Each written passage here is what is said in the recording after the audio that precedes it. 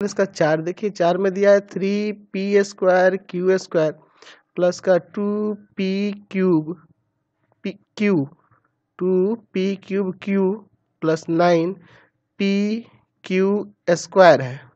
ठीक है, यहाँ स्क्वायर है, थोड़ा ध्यान देंगे। चलिए तो इसमें भी उसी तरह कॉमन देखेंगे तीनों में। तीनों में है पी और क्यू है तीनों में, लेकिन हाँ देख लीजिए पी देखिए, इसमें सबसे छोटा पी है। उसके बाद पी स्क्वायर उससे बड़ा है, फिर पी क्यू है। तो पी ही बाहर निकालेंगे। ठीक? पी बाहर निकाले और क्या बाहर निकाल सकते हैं?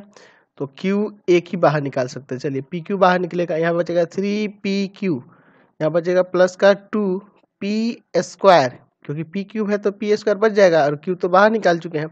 प्लस नाइन पी एक निकाले हैं, एक क्यू निकाले तो एक क्यू बच जाएगा। ये आपका आंसर हो जाएगा। Question number